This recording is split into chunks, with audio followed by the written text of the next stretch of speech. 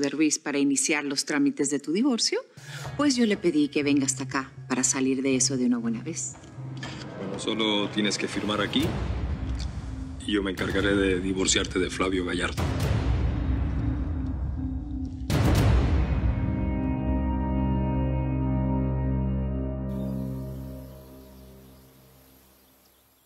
A ver, ¿cómo es posible que a estas alturas todavía no me tengas una respuesta, Ranchini? Irina va a grabar el comercial y todavía no me has dicho si vamos a negociar. El dueño de la agencia de publicidad estaba de viaje. Esta noche voy a una cena de negocios con él y le haré tu propuesta. Solo quiero que hagas todo lo posible. Recuerda que hay mucho dinero de por medio. Y ahora más que nunca, yo tengo que darle una lección a mi esposita. A ver, ¿cómo es eso de que le tienes que dar una lección a tu esposita? ¿Estás mal con Irina otra vez o qué? Se veían Sí. muy bien en la fiesta, ¿no? Sí, sí, sí. Nos veíamos, pero eso es para que veas lo traviesa y loca que es tu cabrita. Todo fue una trampa para dejarme desnudo y burlarse de mí. Pero quien ríe al último, ríe mejor. A ver, cálmate, Flavio. Ya sé que estás enojado, pero mucho cuidado con lo que vas a hacer, ¿eh? Ahora menos que nunca deben hacer enojar a Cayetana. Cuidado. ¿Y por qué ahora menos que nunca? Flavio. Bueno, a ver, a Flavio. ¿Alma? ¿Qué, a ver, ¿qué, ¿qué pasó? Necesito ayuda. Ay. ¿Qué pasa, chiquita? Tranquila.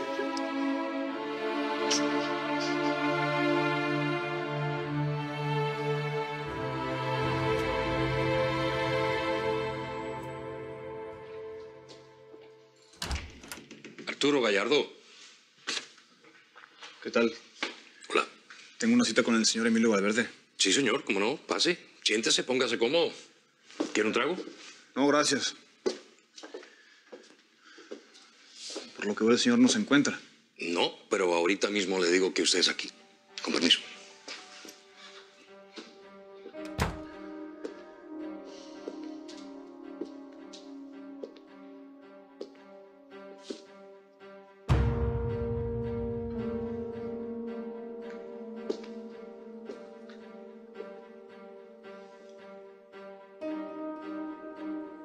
¿Qué hace esto aquí? ¿Qué es esto, papá? ¿Un puñal? No, Arturito. Eso es un abrecartas que me regaló un indio de una tribu. Pero ten mucho cuidado con eso, mijo. No te vayas a cortar.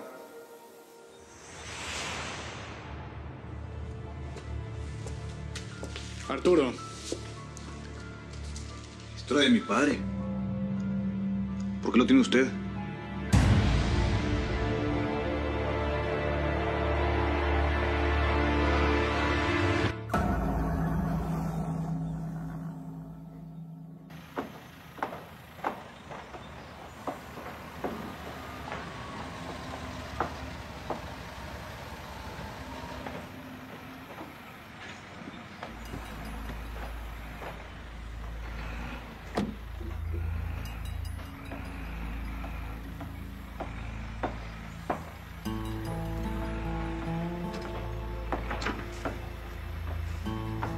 Buen día, señores.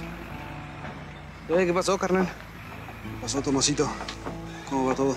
Pues de nuestra parte todo bien, carnal, pero creo que vamos a tener algunos problemitas, ¿eh? ¿Por qué lo dices? ¿Se metieron con ustedes? No, pues todavía no, pero no para de vigilarnos, carnal. Aparte están bien armados, ¿eh? Sinceramente yo creo que... que quieren buscar algo, ¿eh? Bueno, nada más no hay que caer en provocaciones. Aunque tampoco les podremos mostrar miedo. Tú tranquilo, mira. Regresa al trabajo y yo por aquí voy a andar. Les echo un ojo. A la carnalito. Mamita, aquí, compadre.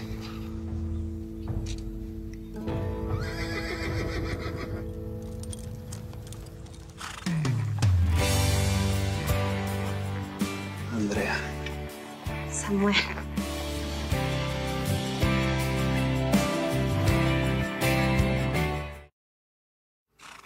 Esto parece un sueño, Andrea. Te ves increíblemente bella. Ah, será por el caballo. Es un nuevo ejemplar.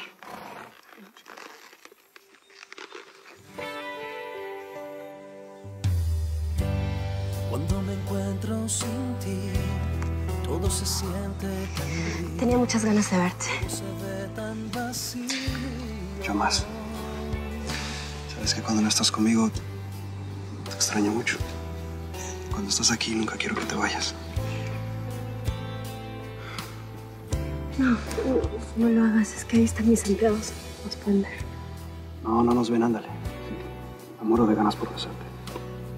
Ay, me estoy muriendo. no, no, no quiero que te mueras.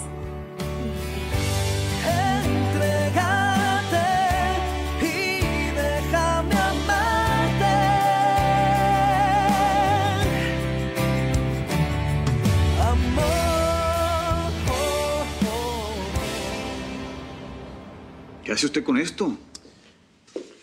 Dame eso, Arturo. Esta daga se la regaló un indio a mi padre. La talló él mismo, nunca más la vi en mi casa. ¿De dónde la sacó? La compré. La compré en la frontera con México. Posiblemente es algo que los indios hacen por tradición, yo qué sé.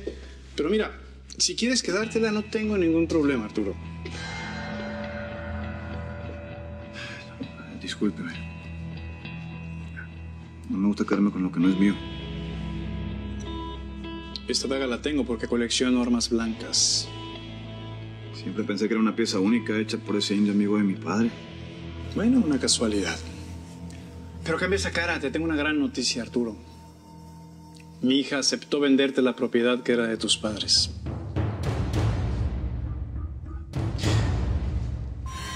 Pues dele las gracias de mi parte, sí. Bueno, se lo podrás decir en persona. Isadora se va a encargar de la venta. Hola, Arturo. Me da mucho gusto verte.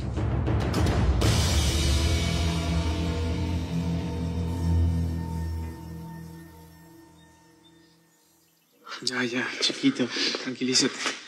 Venga, siéntate. Me duele mucho verte así. Pero quiero saber por qué lloras. ¿Qué te pasa, mi amor? ¿Pasa? Pasa pues que soy la más desgraciada de todas las mujeres. Eso es lo que pasa. No, no, no. Mira, a ver, cálmate un poquito. Más bien, cuéntanos quién se atrevió a hacerte daño. Todo mi mundo se derrumbó. O sea, he estado viviendo una mentira todo este tiempo y, y me, me he dado cuenta de que no tengo a nadie, no tengo nada, no tengo a nadie, estoy ¿Cómo sola. que no tienes ¿no? a nadie, mi amor? Por favor, nos tienes a nosotros, Verónica, por favor. Sí, mi- mira, chiquita, aquí está tu familia. Mejor dime quién te hizo llorar.